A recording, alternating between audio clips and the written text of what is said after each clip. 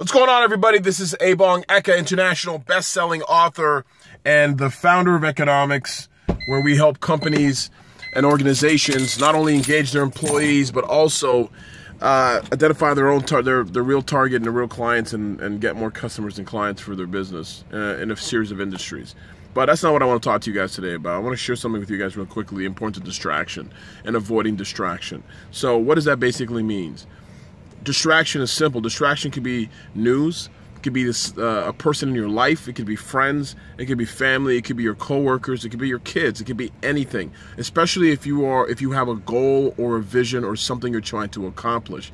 Now, too often we allow things in life to distract us right? Like that new uh, that new technique that new facebook ad uh, hack or uh, uh, something that you're seeing in your business or something you're seeing in your in your personal life that gets you off your particular path.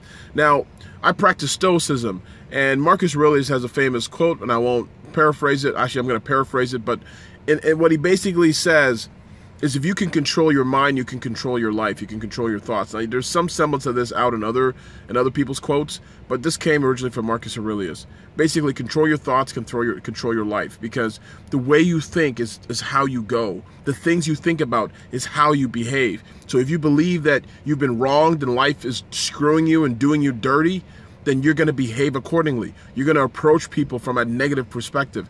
I'm not saying this is all about positivity. This is more like being pragmatic, being aware of your surroundings, being aware of what life is like, and staying present. Those who stay present to the moment can make decisions in the moment.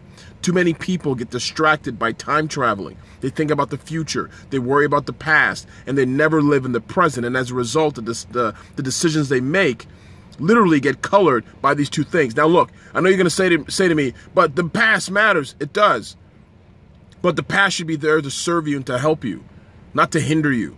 If it's like an anchor around your neck, keeping you from swimming up to the surface, then what is the frickin' point? You, you get it? So, if you're in business and you're trying, but what does the distraction mean for business? If you're in business, you're trying to get in front of that right client. That person may not be returning your calls, not because they don't like you, not because they don't like your solution, but you're competing not with other competitors or other people in your space. You're competing with the news. You're competing with the Kardashians. You're competing with Kanye West. You're competing with Me Too movement. You're competing with Israel Gaza. You're competing with Trump. You're competing with CNN. You're competing with that person picking their kids up from school. You're competing with soccer practice and volleyball and basketball practice. You're competing with your wife talking having a serious conversation with you. You're competing with your in-laws. You're competing with your parents. You're competing with the attention of everything else that's going on in that person's life, you have to be compelling enough to to burst through all the noise to get them to want to give you a times minutes out of their day.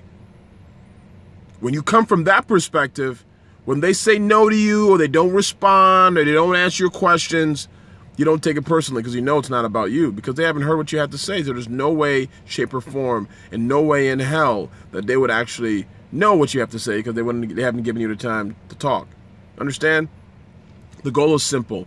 Eradicate distractions. You set the path for an amazing life, an amazing business, an amazing experience while you're on this planet. If you waste your time living in the past, living in the future, there are people like that all, all over the place. Go on, go on, uh, on Facebook and, and take a look at people's feeds.